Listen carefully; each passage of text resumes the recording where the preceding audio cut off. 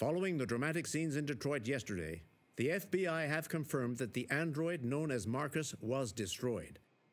The FBI raided an abandoned freighter in Detroit at 10:45 p.m. yesterday. Thousand androids were destroyed or captured.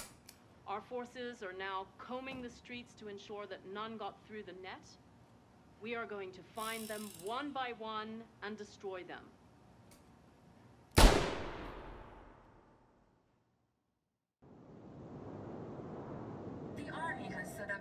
Temporary camps in most major cities to gather and destroy androids. So far, camps have been installed in Los Angeles, Chicago. Denver, Houston, Boston, San Francisco, and of course, Detroit. President Warren announced today that android collection and destruction operations were fully underway, but that it will take at least a week to eliminate the current generation of machines. CyberLife issued a statement today saying that it is working closely with the authorities in order to round up and destroy all androids across the country. They also announced an internal investigation to identify the malfunction and to prevent any such incidents in the future. Elijah Kamski, you're the founder of CyberLife and foremost expert on androids. Though you left CyberLife years ago, you've just been reappointed as CEO in the wake of the dramatic events in Detroit. How do you feel about what happened there? Clearly, what happened in Detroit was a tragedy. Artificial intelligence is a wonderful tool, provided it can be controlled.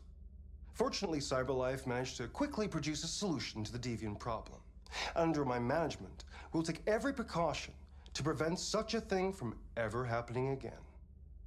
Can you assure us that androids no longer pose a threat? Absolutely. There was an incident, but we've learned from our mistakes.